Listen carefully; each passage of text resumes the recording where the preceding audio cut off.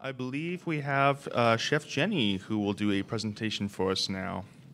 And I, uh, I read her bio yesterday, but I'm going to read it again because she's so awesome. So, Chef Jenni was raised in northern Saskatchewan by a little lake where she spent time berry picking, cooking, and baking with the bounty of the forest, and where she dreamed of one day of opening a fancy restaurant. Her first food business was a hamburger stand called Flight Delight at La Ronge Airport, where she operated with two friends the summer before grade 9. She expanded her horizons and tasted Canadian fine cuisine while working for several years in the Rocky Mountains. In 2005, Jenni opened a new ground cafe in the small farming community of Birch Hills, where she took on the role of chef, owner, hostess, and server. After eight years of restaurant life, Jenni became the chef in residence at the Saskatoon Farmers Market, where she found new and exciting recipes to highlight vendor products. In 2019, Jenni closed the catering arm of her business to become the first female and Métis executive chef at Wanuskewin Heritage Park, where she is still involved as a culinary consultant and chef. So we've all been tasting her delicious food. Now let us feast of her mind. Chef Jenni.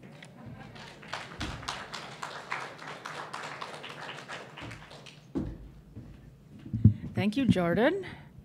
Um, when my grandma would call us to the table, I was just thinking of the name of this gathering, Come to the Table. And she had eight kids and 32 grandkids, and we would all meet at her tiny little house on 20th Street West in Prince Albert. And she would, I'm going to stand back from the mic because I don't want to hurt your ears. She would say, Dinner and we would all come running from the basement, from outside, from the fire, wherever we were. So that's how we were called to the table when we were at my grandma's house. Um, I didn't really give a chance to introduce myself fully yesterday. Um, my name is Jenni Lessard, and the Lessard part comes from my dad's side, but my Métis names are Bird, Halcrow, Campbell, Knight, Hallett. So that's the Scottish English and a lot of people are very confused when they hear that. They assume that the French part is the Métis part, but that's how we all got to be such a diverse nation, and that's how Michif ended up with some Scot, a little bit of Scottish, Cree, English. Um, so my family came through the Red River Valley, and then I didn't even know this until last year when I I moved to the Qu'Appelle Valley and just felt at home. I grew up in the bush. I thought that's where I was kind of from, and part of me was, but just feeling at home there and realizing that that's where actually my um, last person to receive scrip was actually from the Qu'Appelle Valley. So it, I feel like I'm kind of at home now, but I've lived and worked all across Saskatchewan. Um, you can start the presentation. Yeah.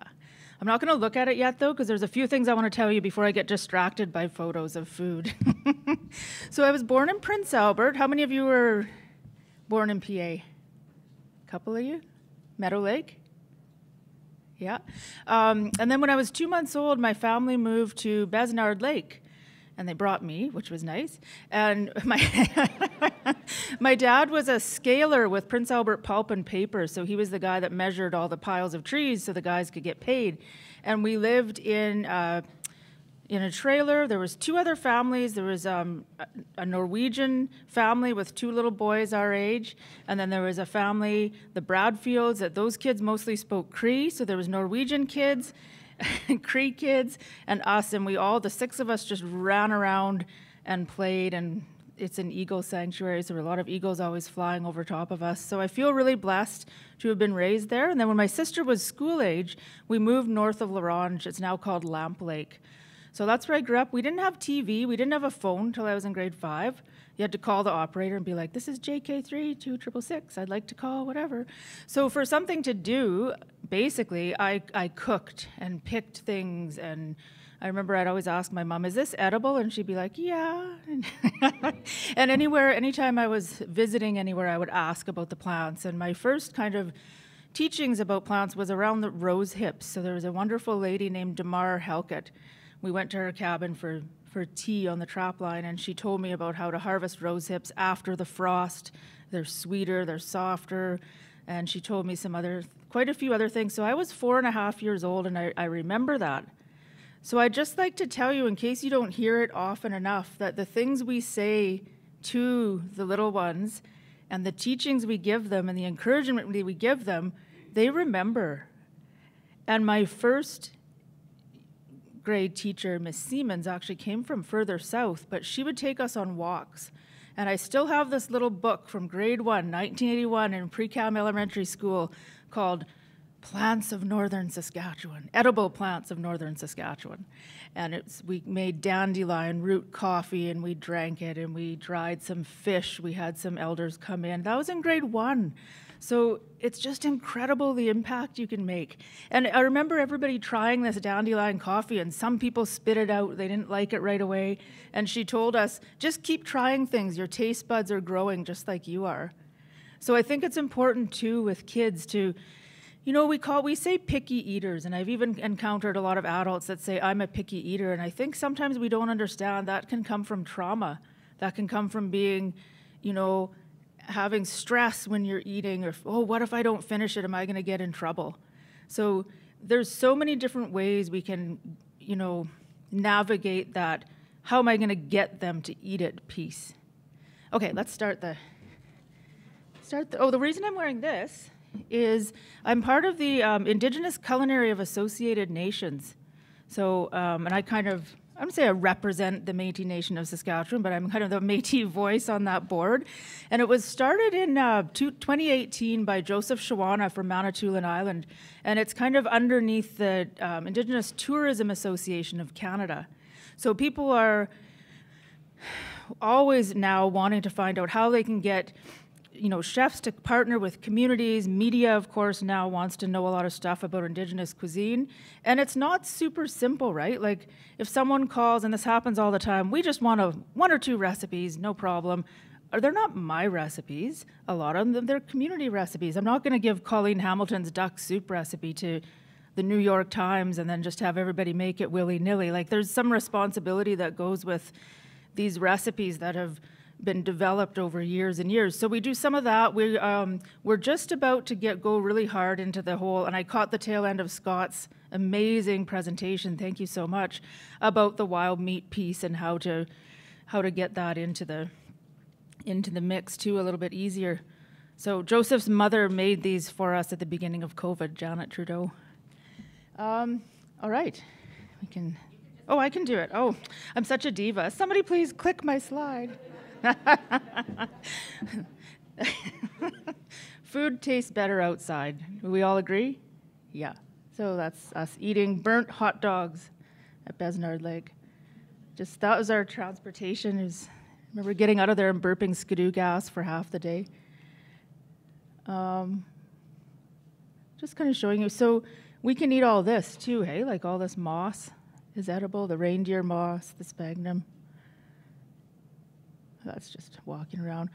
Um, so where I live now, I have choke cherries and cactus and snakes. And where I grew up, I had bears and blueberries and cranberries. So Saskatchewan is so diverse. And I think where's the furthest south your schools would be? Those of you that are here. Well, so there's Aden Bowman's here, right? Yeah. So you have Saskatoons, choke cherries. There's we, but we're representing probably three different ecosystems in this room here the parkland, boreal forest, and Precambrian shield. So, aren't we just so blessed with the riches of this land? We're just going to look at some plant nations here. Low bush cranberries. Do we have any berry pickers here? Have you ever picked with a headlamp deep into the night because you just couldn't leave? um, my first job was uh, when I was in because I was 14, some friends and I rented the um, food truck from the Kikinahk Friendship Center in La Ronge, and we went out to the airport because there was no food out there. There was just a vending machine. And someone had said, hey, that would be a good business opportunity. So we got like $1,000 from Canada Manpower, as it was called then.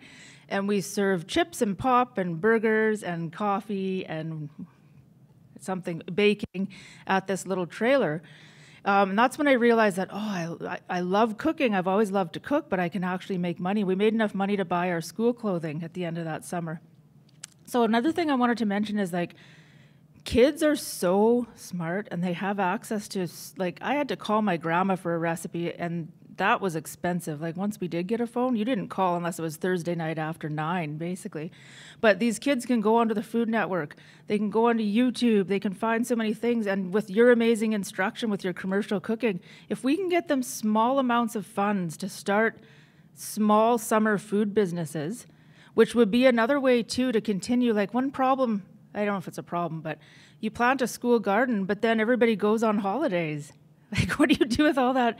Like, the root vegetables will be fine. So maybe you could even partner with some of the high schoolers who have a little food truck and then can use and maintain, look after those gardens, use the fresh stuff, and then you'll they can make sure your root crops are weeded. I just had that idea this morning at like 5:30, but. Um, and then my second job was with the playground program for the La Ronge Recreation Department. And we planned all these crazy activities for kids. We thought they'd love them, and they didn't. So then we asked them, like, what do you want to do? And they wanted to go berry picking.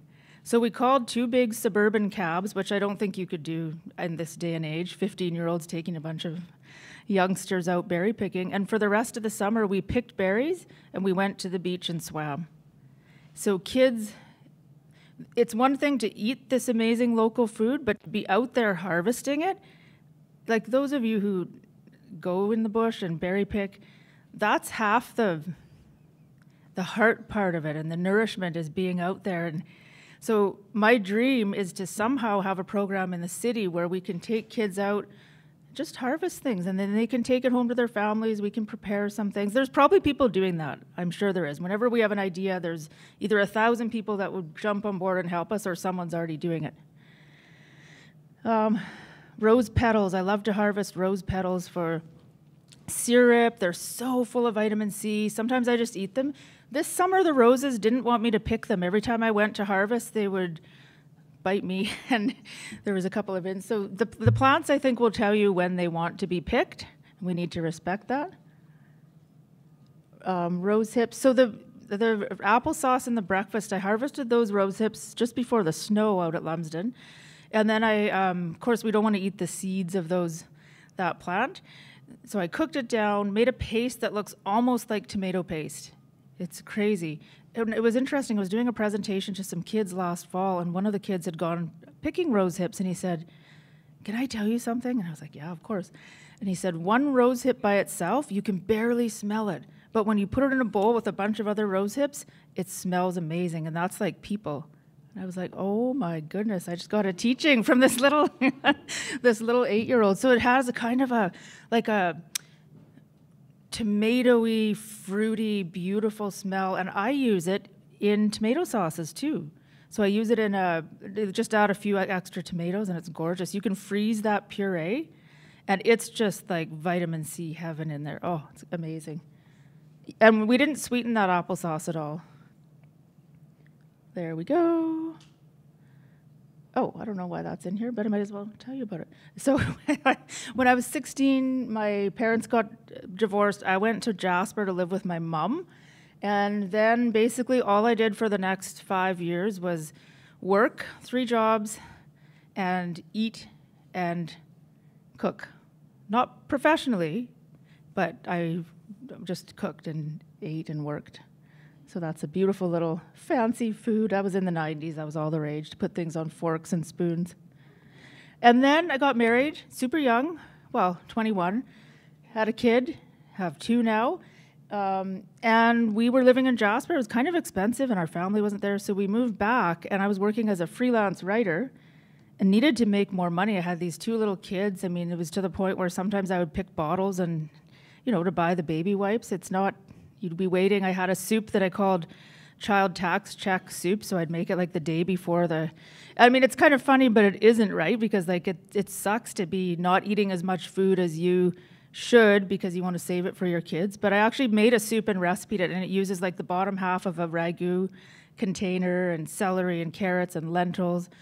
But anyway, I didn't start a restaurant because I had this great dream of starting a restaurant with two little kids. I needed money, and that was those were my skills that I could do that. So I started out first by going to the farmers market in PA, just selling soup and bannock and coffee with my mom, my baby on one of my babies on my back, and kind of got people used to my my food by having them see me there Wouldn't be funny if it was my mom? Um, it wasn't. And then, um, so we moved to Birch Hills, which is near Muskoday First Nation, kind of in between Muskoday, James Smith, Melfort, Prince Albert. And I rented a little 14 seat coffee shop. So there was enough, like, I could reach the cash drawer and the sink, basically. So it was tiny. And I just served soup, bread, bannock, Red River cinnamon buns, cheesecake, and fair trade coffee. That was really important to me. And it was, people liked it. I was so excited. I was using local ingredients, ingredients from the north. And then within about nine months, I needed a bigger space. So I had some help from Clarence Campeau Development Fund and what was then called Aboriginal Business Development Canada. And I bought a, when real estate was like low, low price, bought an old 100 year old building that used to be the pharmacy and turned it into a local foods restaurant. So that's the, first it was mostly seniors, these Emma and Thelma. And then, yeah, then I started using these ingredients from that I'd grown up with cranberry butter tart. I didn't want to throw out any of my coffee because coffee berries, cherries are picked by hand. And so I would save the coffee, like not from people's cups, obviously, but like right now, if at the end of the day there was coffee left, I would save that and make a simple syrup, add cream cheese, and it was a mocha cream cheese icing. And that was the restaurant. Local art, just a daily changing menu. Some of the ingredients. And then I moved to Saskatoon, sold the restaurant building, started a catering company, and then I was using even more ingredients from down here that I'd never heard of, like sour cherries. And so that's just some of the things that I've done with food. That's fiddlehead soup yeah, then that was that company. In between the restaurant in Saskatoon, I had to rent the curling rink in Hills. So that was fun. The seniors would see my car and just still come. And um, so yeah, lots of different caterings happened. Went and cooked at a wild rice camp for a while. I have to tell you something interesting about the wild rice. So I was in um, New York City, a couple, weeks ago, I had the opportunity to go and give a presentation with another chef called Scott Iserhoff. He has a company called Pipiscu, which means little sparrow, I believe, because he talked a lot as a kid. And um, we were able to present to the writers at Bon Appetit magazine, um, Architectural Digest, GQ, all these amazing publications. So we brought all our ingredients and we did our dishes. And I, we, I was in a hurry cooking, and I thought, okay, I'm just going to fry this rice to puff it in the deep fryer. And I tried and I tried, and there's no real reason why it shouldn't have worked, but it didn't. It just wouldn't puff. So I put it in the pan, and then I was like, oh, yeah, because the plant wants to do this. And it lays out like that, almost in a kaleidoscope pattern. Doesn't that look like moose fur or beaver fur? So I think that like a lot of these ingredients, they're not just, oh, I want to cook with this because it'll be cool. Like the plant actually wants to be used in certain ways and i think like for me a lot of that knowledge was lost but there are people that know about it and i think i'm also open to if i'm ever cooking something and someone says i don't think you should be using that that way. That's all part of the the journey and the learning too. But i love that and then it then it worked perfectly so um, this was yeah i went up and cooked during the forest fires in la ronge and Chief Tammy Cook Searson was across from where I was cooking at the Riverside Motel, and she had some pickerel left. So we made a pickerel lasagna. But I was going to tell you, like, that's a really good thing that, and you know pickerel, it doesn't taste fishy. So you can get almost any kid to try that. It was so good. Thankfully, we didn't have an alternative. Um, and then I do outdoor dinners at Wanuskewin Heritage Park outside and trying to get as many youth and teenagers to come along and help and experience that and get paid. I don't believe in exposure for kids and artists. I like to pay them. There's a there is a time and place for that, but I like to. That's a Three Sisters salad. Tamarack. Have you ever eaten tamarack needles? You can make a tea out of them, but also if you fry them, it looks like a beard. It looks like a red haired guy's beard, but it tastes better than what I think that would probably. and it's nice if you're ever doing a fancy dinner, you can just put a hit of that on top of the. It turns almost like this color. How am I doing for time, Rachel? Or staff or anybody? Oh no. Okay, so I'm just going to tell you school food, school food, school food. Okay, let's skip ahead um, fiddleheads, da da da. Um, so, yeah, this is some of the stuff I did for the health region. Well, that's our putting the salt on. Um, yeah, that's my brother. Not sure why he's there. So these are some of the things we did for the hospital. So the first one, when I say we, I mean me. Um, testing the recipes and then actually being able to go into City Hospital and work with their amazing nutrition uh, department. I couldn't believe I had choke cherries in the hospital. Like that was never that would never have been al- allowed, right? Duck. The team was sorting through those tiny little, or sorry, rabbit bones to make our rabbit stew. So the first one is um, a turkey dinner, but for kids that can't swallow very well that have dysphagia. That's the, the cookie you ate yesterday. And then that's a different version of the Bannock calzone. This is what you're having for lunch and snack. So the, in the middle, I find that kids really like color. And if they see something orange, they assume it's cheese, and then they love it. I'm not saying you have to trick kids, but you know how that is. It's so it's a pickerel wrap. So I this is what you're having for lunch. One of the things, I roast squash, mix it with cream cheese, just a little bit of seasonings, not much. Steam the the pickerel, flake it, and I go through it like four times to make sure that there's no bones in it. And then you just kind of layer it and roll it up with greens, and there you go. The Saskatoon berry fruit leather you're going to have for your afternoon snack. I don't have any special equipment. I just use a, I, I make a puree and then um, add a little bit of oil so it doesn't crack, just a tiny bit. The only liquid is lemon juice and maple syrup. And then lay it out on a parchment lined pan, put it in the oven at 200 and forget about it for the rest of the day and then roll it up. So you can do that with any berry. I find apple has more pectin, so it's a little easier to, to work with. Um, oh, we made a like a pop tart.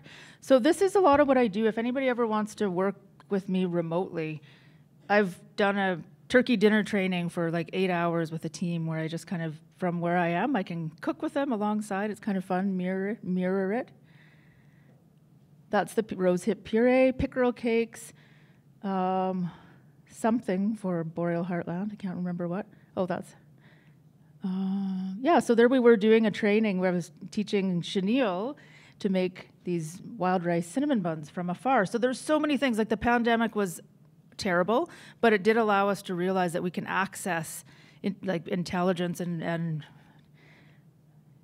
talent from other people. This over here is a wild rice porridge. So it's with um, um, what the wild rice flour like we had in the pancakes. Just cook it up.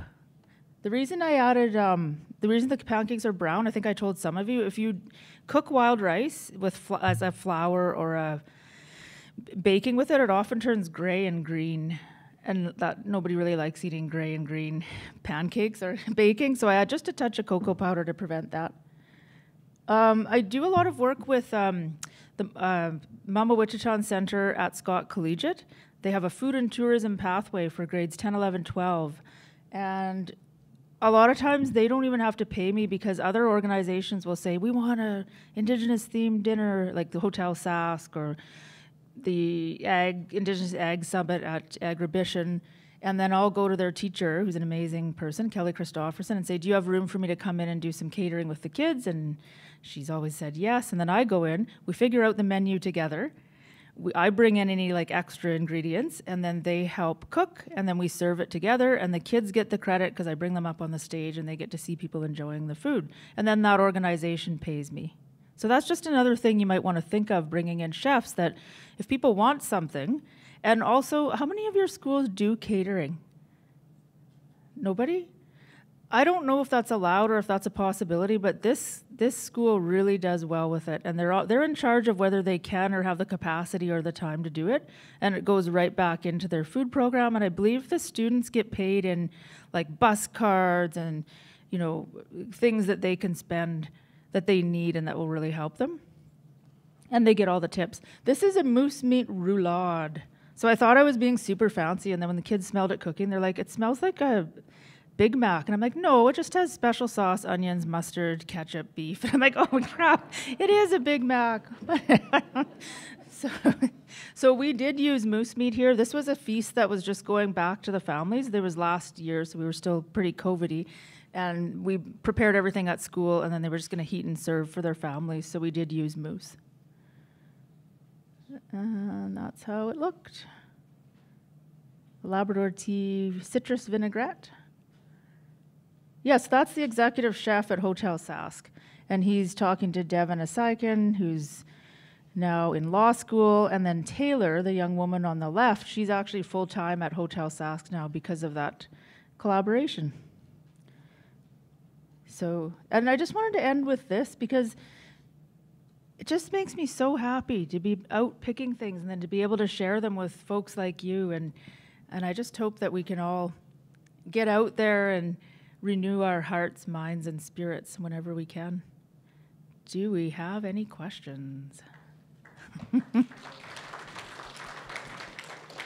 We're a little over time, so we'll take like three minutes for questions if anybody has any questions for Jenni. And she'll be around all day today, so if you want to pick her noodle about any of the wonderful things we've eaten or how to use some traditional ingredients, these kinds of things, please do.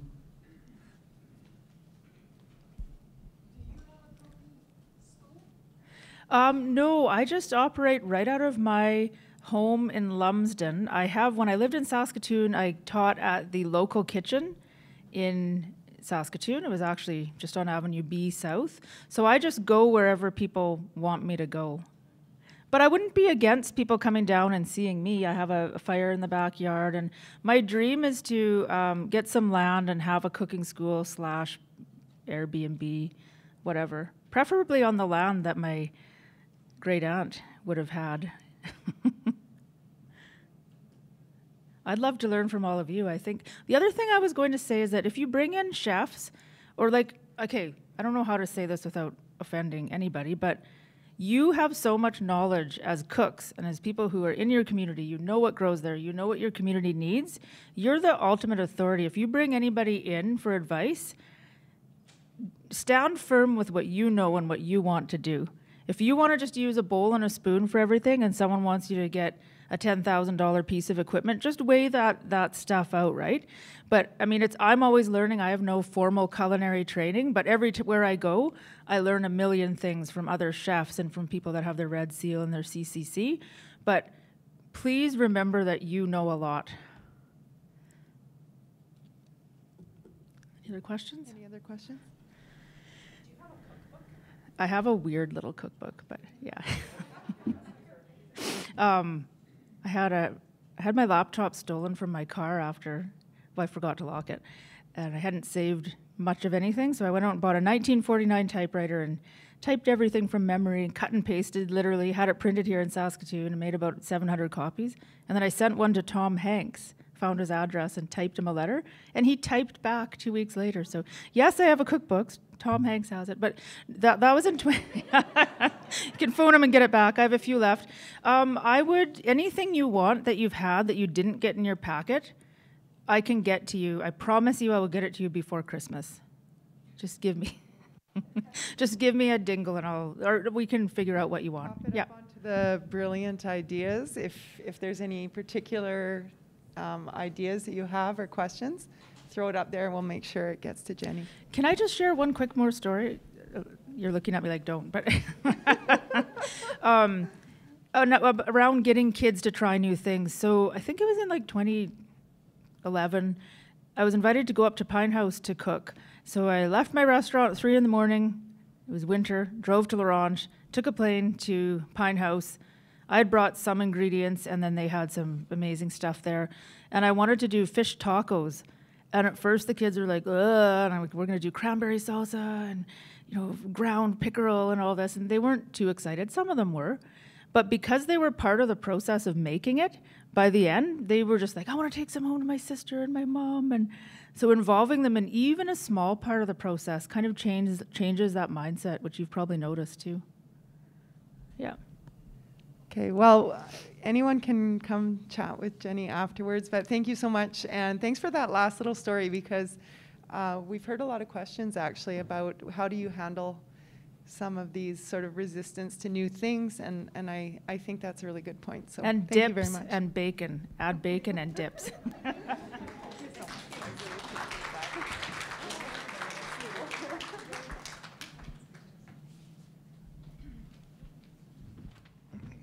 Alrighty. That was terrific. Very al- always keen to hear such humble speakers like that. Um, and such a beautiful thing, the like acknowledgement of plant and and spirit. You know, and like Dolores kind of alludes to that as well. And you know, it's kind of like a very indigenous principle. This acknowledgement of the unseen realities. You know, reality is a very complex, holistic thing, and it's not a coincidence that we keep talking about it. Um, you know, just because we can't measure it like empirically doesn't mean it doesn't exist or doesn't influence us. We've influenced it, etc. All those sorts of things. It's um, quite beautiful. I once heard an elder actually tell me that the those are your five senses are another form of five distractions. They can just kind of get in the way of things from time to time.